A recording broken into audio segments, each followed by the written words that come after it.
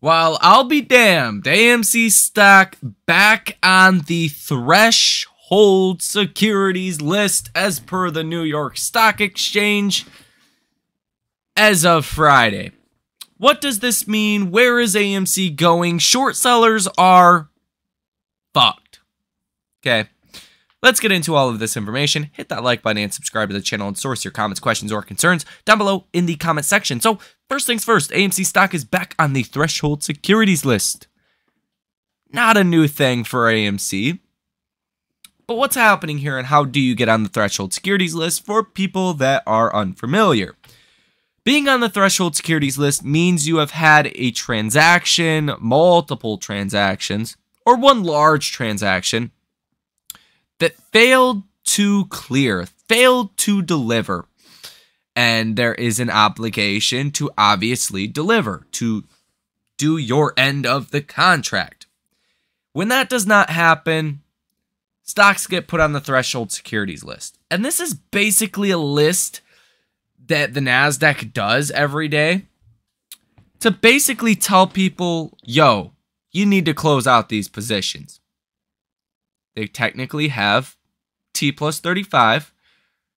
So they have about 35 days to technically close out of these positions. But once you're on the threshold securities list, you usually have about two weeks to close out of your positions at that point.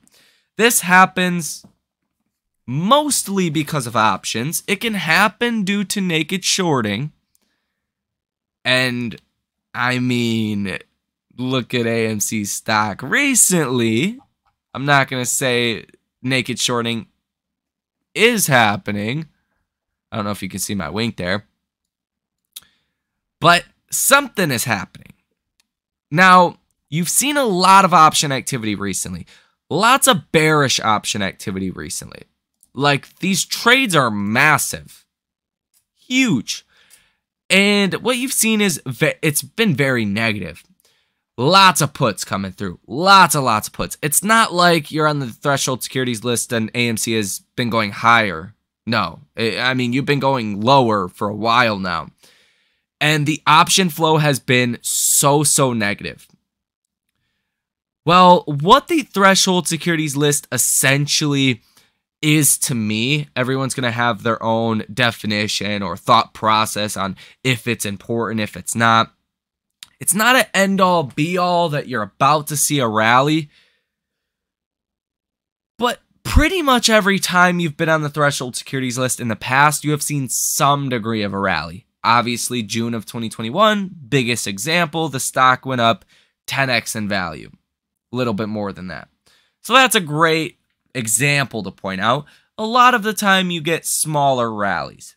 But what it essentially tells you is there is millions of shares that will need to be bought back. And again, some of it has to do with options, none of it ever has to do with naked shorting. Hopefully, you're seeing the wink here. So, it's guaranteed buying pressure. It's highlighting a problem. And that does put pressure on shorts overall. Now, again, you've seen a lot of very bearish option activity. And what I've said in multiple videos now is you don't want to be the guy that is being bearish when everyone else is.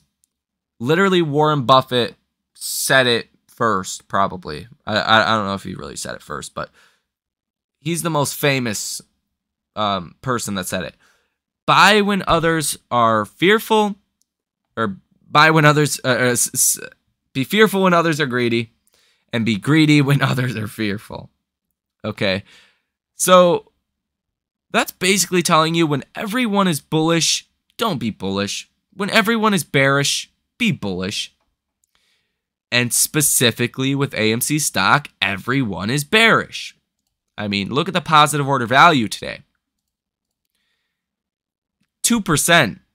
You've seen 65 orders totaling almost $27 million. 2% was positive today? I mean, that's 98% bearish. I don't know how much more bearish you could get from here. You're you're at the most bearish point. Now, a couple things to consider. Every time AMC is oversold on the RSI, the stock is bounced. What happened today? You got oversold on the RSI. The stock hit a low of $4.01 per share. You were down about 3.84% today in regular trading. You popped almost 2% in after hours. People in the trading community were calling this a V shape because it literally, I mean, looked like a V shape. Or the star of like a Nike swoosh kind of thing. And if you guys want to join that, link down below in the description of this video.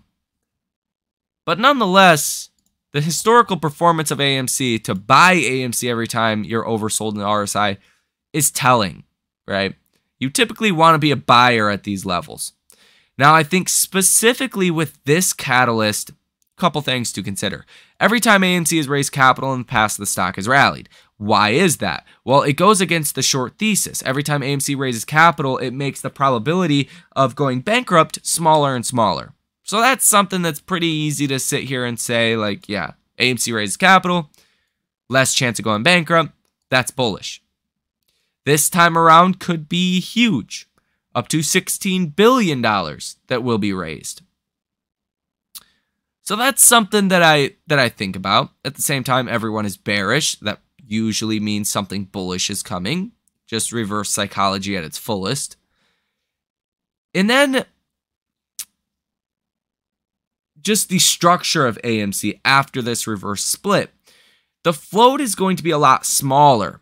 So for the same volume to come into AMC, it's going to move the stock around a lot more, like a GME. You got less shares outstanding, the stock moves around a lot more. And that's going to be the case for AMC as well when the float is smaller. So that's something else that I think about. But really, the main thing that I think about, on top of all of this, is if AMC raises 16 billion in capital or anything close to that, you're not going bankrupt, buddy. I mean, it's just not going to happen. And that would be a reason to cover on short positions right there. Now, again, every time AMC has raised capital, the stock has rallied. This is not, you know, rocket science here. This is very easy to see. So all of these factors make me very bullish. Uh, again, another way to look at this is everyone was in this arbitrage trade for this, you know, conversion, right? Conversion happens. There's no need for a lot of people, uh, or or no want for a lot of people to be short in AMC at that point. And the shorts are out there in a big way. The option activity, massively bearish. That has a lot of those artificial short positions on AMC via the market makers because every time you see uh, you know, those big orders coming in for those deep in the money puts, market makers have to go out and short stock, right? So that right there is causing a lot of shorting pressure on AMC. But also the straight up legal short interest sitting at 24% right now. That's high. That's very high. The shares out on loan at about 200 million, the free float out on loan at 38.5%. Huge discrepancy here between the short interest at 24% and the free float out on loan at almost 39%. Weird. It's just weird at that. $515 million worth of short positions currently in AMC stock. Days to cover at the highest level it's been at in over 18 months. You are higher today by 271% on the days to cover than 18 months ago. 18 months ago, the days to cover was 2.38. Today, you're almost 9. That's bullish. Cost to borrow trailing three month average at 135.44% and 100% share utilization for almost 18 months straight. There's not a lot of shares out there. Now, cost to borrow fees as well. Cost to borrow fees, interactive brokers just in the past week have went from about 65% to 200% that's telling you a lot of volatilities to come.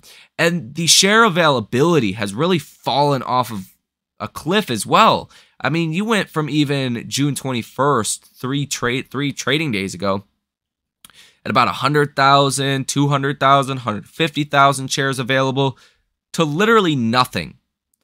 0, 700, 600, 1,000, 2,000 shares available. Almost nothing now. And that's happening for a reason. People don't want to lend out stock because a lot of volatility is to come. That's a big reason why cost to borrow fees are sky high. Now, cost to borrow average sitting at 361%, cost to borrow max at 385.5%, and cost to borrow minimum at 0.35%. Cost to borrow fees are sky high as well. So, actually, this week we're going to get the the the court date, right? And that's going to be June 29th. Is it possible we fall a little bit upon the judge confirming this? Sure. But I don't expect a big drop from here. I think you've really seen that bad news get priced into AMC stock fully as of the last two or three ter- trading days now, where AMC has fallen about 10% in total. That's it. As I said in the last video, I think the downside is over. It's done. So at that point, the only place to go is up. this is pretty straightforward, right? You just fall so much that the only place to go is up. I mean, that sounds like a second grader made up that theory. But it's true.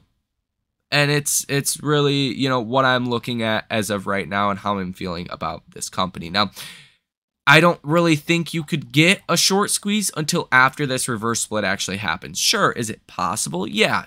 I don't expect a short squeeze until this um, reverse split happens.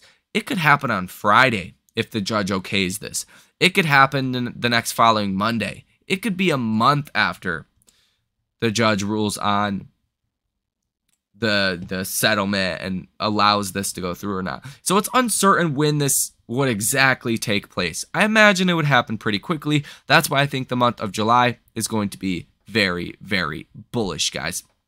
As far as the option activity as well, I talked about this in the last video. For the next two weeks, for really between, uh, I guess the next three weeks, uh, from June 30th to July 14th, you don't have a lot of option activity, especially on July uh, 7th and July 14th, as well as they're not major expirations. They're the, the options that kind of pop up within two months to expiration. So you don't have a lot of option activity there.